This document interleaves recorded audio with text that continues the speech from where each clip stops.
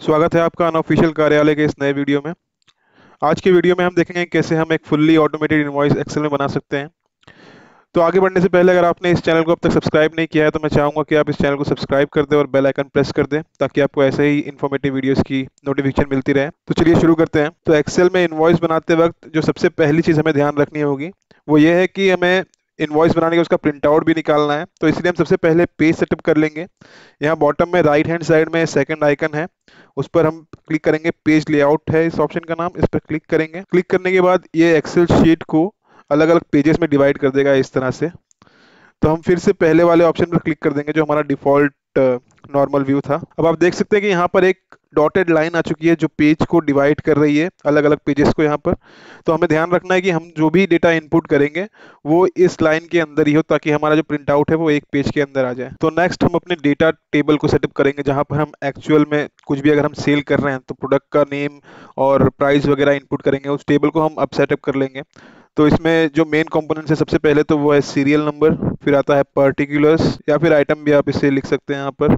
Next है rate अगला है क्वांटिटी और फिर टोटल अमाउंट जो होगा, वो यहाँ पर आएगा। अब हमें ध्यान रखना है कि ये जो एरिया ब्लैंक है, इसे हमें सेटअप करना होगा इस तरह से कि ये पूरा एक पेज में कवर अप हो जाए। तो पर्टिकुलर जो होता है, वो सबसे बड़ा एरिया होता है तो हम उसे एक्सपांड कर लेंगे। फिर इसको भी थोड़ा एक्सपांड कर लेंगे। क्वांटिटी अमाउंट और सीरियल नंबर को भी थोड़ा एक्सपांड कर लेंगे। अब आप देखेंगे कि ये जो हमारे जो तो हमारे जो हेडर्स हैं, वो परफेक्टली अलाइन हो चुके हैं हमारे पेज के हिसाब से। तो हम इसे एज इट इज़ रहने देंगे। अब नेक्स्ट हम कंपनी से रिलेटेड सारी सारी इन्फॉर्मेशन इनपुट कर लेंगे। सबसे टॉप पर हम कंपनी का नाम डाल देंगे, शुभम गारमेंट्स प्राइवेट लिमिटेड उसके बाद हम एड्रेस डाल देंगे, नटराज मार्केट मलाड और उसके बाद पिन कोड। अब इन सारे ही रोज को हम सिलेक्ट करके अपने पेज के एंड तक मर्ज अक्रॉस कर लेंगे। मर्ज सेंटर्स के ड्रॉप डाउन में जा करके यहाँ पर मर्ज अक्रॉस का ऑप्शन है, इसे सिलेक्ट करेंगे। इसे सेंटर मर्ज कर लेंगे और टॉप अलाइन कर लेंगे। फिर यहाँ से अगर आपको फॉन्ट वगैरह चेंज करना है या फिर फॉन्ट साइज़ चेंज करना है तो हम वो कर लेंगे। मैं टॉप को जो कंपनी का नेम है उसको 14 कर रहा हूँ, बाकी सबको 12 कर रहा हूँ। इसे बोल्ड कर लेंगे और डार्क ग्रीन कलर कर देंगे बैकग्राउंड में और फॉन्ट को वाइट कलर कर लेंगे। अगर आपको इटैलिक वगैरह करना है तो आप वो सारी चीज़ें यहाँ से ऑल्ट्रेशन कर सकते हैं। इसके बाद हम नेक्स्ट रो को सिलेक्ट कर लेते हैं। इसे मर्ज एंड सेंटर कर देते हैं। और यहाँ पर हम लिखेंगे इनवॉइस यहाँ पर आप अगर कोई और टर्म यूज़ करना चाहें, जैसे कैश मेमो वगैरह तो आप वो भी कर सकते हैं। मैंने यहाँ पर इनवॉइस कर दिया है। इसे बोल्ड कर लेंगे। इसका साइज़ इंक्रीज करके 14 कर लेंगे और बैकग्राउंड कलर इसे येलो दे देंगे। इसके बाद हम इनवॉइस रिलेटेड काफ़ी सारे टर्म्स जो हैं, वो इनपुट करेंगे। जैसे कि बिल नंबर हो गया कस्टमर नेम डेट कस्टमर का कॉन्ट्रैक्ट और अगर जीएसटी इन वगैरह डालना है तो वो वो सारे फील्ड्स हम यहाँ पे बना लेंगे। जैसे कि पहले हम डाल देंगे यहाँ पर बिल बिल नंबर उसके बाद डेट या इसे मर्ज एंड सेंटर कर लेंगे, ताकि ये डेट के लिए हमें एक बड़ा फ़ील्ड मिल जाए यहाँ पर। उसके बाद नेम डाल देंगे, ये कस्टमर नेम होगा, और उसके बाद कस्टमर का कॉन्टैक्ट डिटेल नेक्स्ट हम इन सभी हेडर्स को सिलेक्ट करके बोल्ड कर लेंगे। अब ध्यान रहे कि ये मैंने जूम किया हुआ स्क्रीन इसलिए ये काफ़ी अच्छा दिख रहा है, लेकिन अगर हम प्रिंट करेंगे तो ये शायद छोटा दिखे। तो एक चीज़ ध्यान रखिए कि सारे ही इन्वॉइस में जो भी डेटा हम इनपुट करें, वो 12 टू 14 के फॉन्ट साइज़ की रेंज में हो। तो हम जहाँ तक हमें डेटा इनपुट करना है, हम उतना सेक्शन सिलेक्ट कर लेंगे और उसे 12 टू 14 के रेंज में रख लेंगे। मैं 12 कर दे रहा हूँ यहाँ पर। नेक्स्ट हम अपने इनपुट टेबल को भी फॉर्मेट कर लेंगे। पहले तो हम हेडर्स को सिलेक्ट करके इसे एक बैकग्राउंड कलर दे देंगे।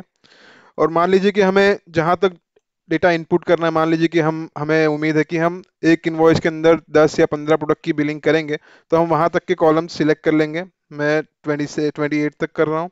इसे हम कर देंगे आउटसाइड बॉर्डर फिर हम वैसे ही एस आर नंबर को सिलेक्ट करेंगे और इसे भी कर देंगे आउटसाइड बॉर्डर पर्टिकुलर्स को सिलेक्ट करेंगे और इसे भी कर देंगे आउटसाइड बॉर्डर मैं थोड़ा जूम आउट कर लेता हूँ ताकि देखने में आसानी हो हमें। फिर रेट को सिलेक्ट कर लेंगे और इसे भी कर देंगे आउटसाइड बॉर्डर क्वांटिटी और आउटसाइड बॉर्डर हम टॉप कॉलम को रो को सिलेक्ट करेंगे और यहाँ पर हम सिलेक्ट करेंगे ऑल बॉर्डर्स अब नेक्स्ट जो टर्म होता है, वो होता है हमारे चार अलग कंपोनेंट्स जैसे कि हमारा टोटल अमाउंट आएगा S G S T C G S T और उसको ऐड करने का जो हमारा ग्रैंड टोटल होगा, वो हम डालेंगे। तो हम यहाँ पर चार रोज को सिलेक्ट कर लेंगे और मर्ज सेंटर के ड्रॉप डाउन में जाके मर्ज अक्रॉस कर लेंगे। अब ये चारों ही मर्ज अक्रॉस हो गए हैं। तो यहाँ पर हम पहले लिख लेंगे टोटल फिर यहाँ पर S G S T S G S T फिर उसके बाद सी जी एस टी और फिर ग्रैंड टोटल आएगा हमारा। अब एस जी एस टी और सी जी एस टी जो होता है, वो प्रोडक्ट के हिसाब से डिफर करता है। तो मान लीजिए हमारा जो प्रोडक्ट है, उस पर nine percent S G S T लगता है और nine percent C G S T लगता है। तो हम दोनों जगह नाइन नाइन परसेंट इनपुट कर लेंगे। ग्रैंड टोटल को बोल्ड कर देंगे और इसे एक बैकग्राउंड कलर दे देंगे। येलो कर देते हैं। अब हम इसे सिलेक्ट करके ऑल बॉर्डर्स कर देंगे। इसके बाद जो एक इंपॉर्टेंट टर्म है वो है ऑथोराइज सिग्नेटरी ये काफ़ी इंपॉर्टेंट टर्म होता है जहाँ पर कोई एक सीनियर या फिर जो सीनियर लेवल का एम्प्लॉय है वो साइन करता है इनवॉइस पर. तो इसे हम कर लेंगे मर्ज एंड सेंटर यहाँ पर टाइप कर देंगे ऑथोराइज सिग्नेटरी इसे बोल्ड कर लेंगे. ऊपर के रो को भी मर्ज एंड सेंटर कर लेंगे. और यहाँ पर हम शिफ्ट प्रेस करके माइनस प्रेस करेंगे ताकि एक ऐसे डैश बन जाए। तो आप देखेंगे कि हमारा जो फॉर्मेट है, जो ढांचा है हमारा इनवॉइस का, वो रेडी हो चुका है एक तरह से।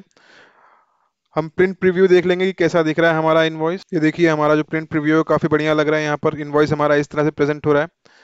तो हमारा जो फॉर्मेटिंग है इनवॉइस का, वो यहाँ पर कंप्लीट होता है। अब हम नेक्स्ट स्टेप्स देखेंगे कि हम इसे कैसे ऑटोमेट कर सकते हैं। तो सबसे पहले हम ऑटोमेट करेंगे पर्टिकुलर्स को। तो पर्टिकुलर्स को ऑटोमेट करने के लिए मैंने यहाँ पर एक शीट बना रखी है, जहाँ पर मैंने अपने इन्वेंट्री में जो भी प्रोडक्ट्स हैं, उनको ऐड कर दिया और उनका करस्पॉन्डिंग रेट यहाँ पर लिख दिया हुआ है। ये काफ़ी हाइपोथेटिकल एग्ज़ाम्पल लिया हुआ है मैंने यहाँ पर। तो आप आप भी ऐसे ही अपने सारे प्रोडक्ट की लिस्ट बना सकते हैं, उसका एप्लीकेबल रेट की लिस्ट बना सकते हैं यहाँ पर। अब हम जाएँगे अपने मेन इन्वॉइस वाली शीट पे, वहाँ पर हम पर्टिकुलर्स को सिलेक्ट कर लेंगे। यहाँ जाएँगे डेटा पर और यहाँ पर आप देखेंगे डेटा वैलिडेशन का डेटा वैलिडेशन का ऑप्शन है रिमूव डुप्लीकेट्स के नीचे। इस पर हम क्लिक कर देंगे। यहाँ अलाउ एनी वैल्यू पर क्लिक करेंगे और यहाँ पर लिस्ट हम सिलेक्ट कर लेंगे। अब जो सोर्स है, वो सोर्स में, वो सोर्स के लिए बेसिकली हम इसे सिलेक्ट कर लेंगे जो भी हमारा प्रोडक्ट है और ओके okay कर देंगे। तो आप देखेंगे कि यहाँ पर एक ड्रॉप डाउन लिस्ट आ गई है जहाँ से हम अपना प्रोडक्ट सिलेक्ट कर सकते हैं। अब उसका रेट यहाँ पर ऑटोमेटिकली लाना है, उसके लिए हम फॉर्मूला लगाएँगे इक्वल्स टू वी लुकअप का। हम सिलेक्ट कर लेंगे इसका करस्पॉन्डिंग पर्टिकुलर्स वाले सेल को कॉमा दे करके। हम इस टेबल को सिलेक्ट कर लेंगे। अब जो रेट है, हमें रेट लाना है बेसिकली तो रेट जो है वो सेकंड कॉलम में है। तो हम कॉमा डालकर टू लगा देंगे और ज़ीरो ताकि वो एग्जैक्टली मैच करे अप्रोक्सीमेटली मैच करे। अब इसे हम इस सारे कॉलम को सिलेक्ट कर लेंगे इन तक और कंट्रोल डी प्रेस कर देंगे। ये सारे ही कॉल पूरे कॉलम पर फॉर्मूला अप्लाई हो जाएगा। अब हम देख रहे हैं कि यहाँ पर नीचे एरर आ रहा है। अब हम चाहते हैं कि ये एरर ना आए। तो यहाँ इक्वल्स टू के बाद हम इफ़ एरर लिख देंगे। एंड टैब दबाएँगे तो ऑटोमेटिकली ब्रैकेट ओपन हो जाएगा। अब एंड की ब्रैकेट के बाद कॉमा डालकर हम इन्वर्टेड कॉमर्स लगा लेंगे। तो इसका मतलब ये है कि अगर एरर आ रहा है तो वो स्पेस आ जाए, उसकी जगह कुछ भी ना है तो दो इन्वर्टेड कॉमा का मतलब कि वहाँ कुछ भी ना है वो ब्लैंक रह जाए, वैसे कि वैसे ही। तो हम ब्रैकेट क्लोज करेंगे और एंटर प्रेस कर देंगे। अब इस सेम फॉर्मूला को हम नीचे तक अप्लाई कर देंगे। अब यहाँ पर एक कॉल अब आप देख सकते हैं कि यहाँ पर जो एरर्स आ रहे थे वो सारे चले गए हैं। फिर वैसे ही हम क्वांटिटी एंटर कर देंगे, मान लीजिए ट्वेल्व अब हमें अमाउंट में टोटल चाहिए तो equals to C twelve into D twelve ये बहुत ही सिंपल सी मैथ है rate into quantity equals to total amount और एंटर प्रेस कर देंगे। और ये सेम फॉर्मूला हम नीचे तक एंड तक इसके अप्लाई कर देंगे। अब यहाँ पर सेम हमें एरर आ रहा है तो यहाँ पर वैसे ही हम फॉर्मूला लगा देंगे इक्वल्स टू के बाद इफ़ एरर टैब प्रेस करेंगे, एंड में आकर कॉमा लगा देंगे और इन्वर्टेड कॉमा ताकि वो एरर ना दे, उसकी जगह ब्लैंक ही छोड़ दे सेल को। हम पूरा कॉलम सिलेक्ट कर लेंगे कंट्रोल डी प्रेस करके अप्लाई कर देंगे। अब देखते हैं कैसे काम कर रहा है या नहीं कर रहा है, फिर हम यहाँ पर जीन्स लेते हैं और जीन्स पर उसका रेट है 300 सौ, यहाँ पर हम क्वान्टिटी डाल देते हैं, मान लीजिए 40 और यहाँ पर ये टोटल अमाउंट आ गया। नेक्स्ट हम देखते हैं लोअर लोअर पाँच सौ रुपये की है तो हम 56 पीसेस देखते हैं और यहाँ पर अप्लाई हो गया। एस आर नंबर लिख लेते हैं। वन टू थ्री अब यहाँ पर टोटल हम चाहते हैं टोटल आप या तो इक्वल टू सम का फॉर्मूला यूज़ करके कर सकते हैं या फिर ऑल्ट इक्वल्स टू प्रेस करके कर सकते हैं। तो मैं आपको मैनुअली दिखाता हूँ कि आप सम का फॉर्मूला कैसे लगा सकते हैं। इक्वल्स टू सम टाइप करेंगे ब्रैकेट ओपन इस सारे को कॉलम को सिलेक्ट कर लेंगे ब्रैकेट क्लोज एंटर अब नेक्स्ट हम सेटअप कर लेंगे एस जी एस टी और सीजीएसटी तो दोनों ही नाइन परसेंट है टोटल अमाउंट पे तो equals to total amount select करेंगे into nine percent same formula हम यहाँ भी अप्लाई कर देंगे equals to total amount into nine percent अब ग्रैंड टोटल होगा, इन सभी तीनों कंपोनेंट का टोटल इक्वल्स टू सम और इन तीनों ही रोज को हम सिलेक्ट कर लेंगे ब्रैकेट क्लोज एंटर और ये हमारा टोटल अमाउंट यहाँ पर आ गया इसे हम बोल्ड कर लेंगे. अब यहाँ पर हम थोड़ी फॉर्मेटिंग कर लेंगे, ऊपर की तरफ़ हम इस सेक्शन को सिलेक्ट कर लेंगे और इसे सेंटर अलाइन कर लेंगे. तो अब हमारा इन्वॉइस का फॉर्मेट बनकर रेडी है. चलिए फटाफट से एक इन्वॉइस बना लेते हैं. यहाँ पर हम एक बिल नंबर एंटर कर लेते हैं, जैसे कि एस जी ज़ीरो वन फिर डेट डाल लेते हैं डेट डाल लेते हैं one one two twenty three यहाँ कस्टमर का नाम डाल देते हैं, मान लीजिए अभिषेक गारमेंट्स फिर कॉन्टैक्ट नंबर डाल लेंगे यहाँ पर। अब इसका एक प्रिंट प्रीव्यू करके देख लेते हैं कैसा दिख रहा है हमारा इन्वॉइस फाइनली तो इस तरह से कुछ हमारा इन्वॉइस दिख रहा है। तो नेक्स्ट हमें जानना होगा कि हम अपने इन्वॉइस को कैसे रीयूजेबल बना सकते हैं, ताकि हम इसे ऑटोमेट कर सके, ताकि हम इसे बार बार यूज़ करते रहें। तो हम बार बार तो हर एक, इसे डिलीट करके हर एक इन्फॉर्मेशन एनुअली फिल तो नहीं करते रहेंगे। तो इसलिए इसे हमें ऑटोमेट करना होगा कि ऑटोमेटिकली हम इसे इन सारी फील्ड्स के जो इन्फॉर्मेशन है, जो भी हम इनपुट्स दें, हम इसे ऑटोमेटिकली डिलीट कर दें जब भी हमें रीयूज़ करना है तो। तो इसके लिए हम एक मैक्रो क्रिएट करेंगे। मैक्रो क्रिएट करने के लिए हम डेवलपर्स टैब में जाएँगे। डेवलपर्स टैब पे जाने के बाद यहाँ पर एक ऑप्शन है रिकॉर्ड मैक्रो का। इस पर क्लिक करेंगे। मैक्रो को हम कोई भी नेम दे सकते हैं, जैसे कि हम इसको नेम दे देते हैं क्लीन अप उसे एक शॉर्टकट की देनी होगी। याद रहे कि हमें कोई ऐसी शॉर्टकट की देनी होगी जिसका कोई और यूज़ ना हो। तो मैं यहाँ पर इसे तो मैं यहाँ पर इसे दे देता हूँ कंट्रोल एम हम कंट्रोल शिफ्ट एम यूज़ करेंगे यहाँ पर।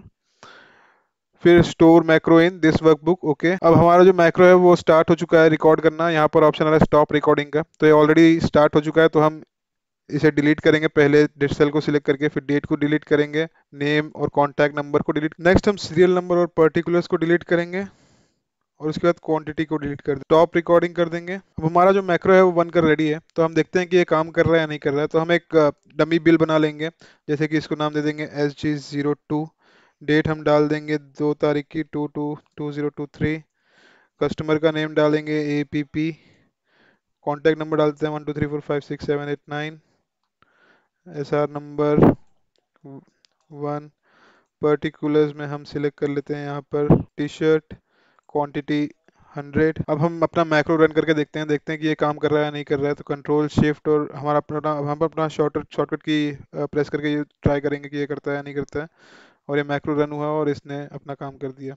तो इस तरह से हम एक कम्प्लीटली ऑटोमेटेड इनवॉइस बना सकते हैं एक्सेल में। मैं इस एक्सेल शीट की लिंक आपको डिस्क्रिप्शन बॉक्स में दे दूँगा। वहाँ से जाकर आप इस शीट को डाउनलोड कर सकते हैं एज इट इज़ अगर आपको ये वीडियो पसंद आई हो तो इस वीडियो को लाइक करें और चैनल को सब्सक्राइब करना ना भूलें। मैं ऐसे ही और इन्फॉर्मेटिव वीडियोज़ की जो लिंक है आई बटन में दे दूँगा। वहाँ पर जाकर आप मेरी पूरी प्ले देख सकते हैं एक्सेल वीडियोज़ की। वीडियो के साथ बने रहने के लिए धन्यवाद। मिलते हैं अगले वीडियो में।